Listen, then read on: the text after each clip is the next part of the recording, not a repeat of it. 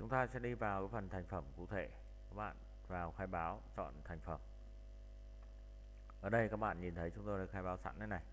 Thì các bạn nhìn thấy là có, sẽ có một cái sự đối chiếu rõ ràng ở đây. Khi chúng ta thêm mới một cái thành phẩm, chúng tôi sẽ nói cho các bạn biết tại sao nó lại là như thế này. Chúng ta ví dụ như này. Khi chúng ta khai báo một thành phẩm, các bạn chỉ cần khai báo ở cái mục thành phẩm. Không khai báo chỗ khác. Và cái mục thành phẩm này các bạn nhìn thấy có một cái mã là mã đối tượng tập hợp chi phí khi các bạn nhập cái mã này thì cái mã này nó cũng đi theo và nó tự động đưa vào trong cái phần đối tượng tập hợp chi phí là một và tự động đưa vào danh mục hàng hóa vật tư. Tí nữa tôi sẽ chỉ cho các bạn xem. Tên thành phẩm ví dụ như đây là đá à, bay. Ok các bạn nhé kho thì chúng ta có thể chọn kho thành phẩm luôn đơn vị tính cho mét khối các bạn ghi đầy đủ vào. Loại này thì nó nằm ở bên cái cột bên trái thì tổ chức theo loại các bạn nhé. Tài khoản kho tài khoản trả vốn các bạn có thể đánh vào đây là 632 đây tồn tối đa và tồn tối thiểu giá bán. Đấy, giống như danh mục hàng hóa vật tư các bạn nhé.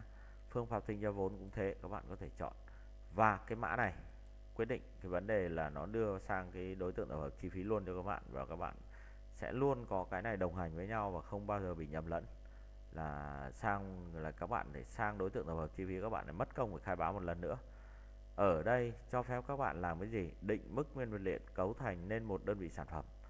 À, thế thì ở đây các bạn chọn cái định mức của nguyên vật liệu tiêu hao để sản xuất ra một đơn vị này hay còn gọi là ví dụ cái này là mét khối thì để sản xuất được một mét khối các bạn khai báo ở đây định mức nó bao nhiêu? Phục vụ cho chúng ta cái phương pháp tính giá thành theo định mức các bạn nhé chỉ áp dụng khi sử dụng phương pháp tính giá thành theo định mức.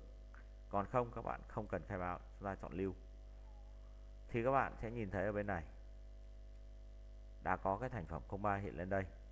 Và trong cái phần đối tượng tập hợp chi phí, các bạn nhìn thấy cũng sẽ có cái thành phẩm 03 hiện ở đây. Các bạn lưu ý là như thế, chúng ta sẽ khai báo thành phẩm ở phần thành phẩm.